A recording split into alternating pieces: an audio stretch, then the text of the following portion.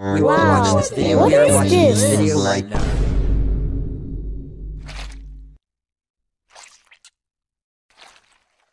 Yo!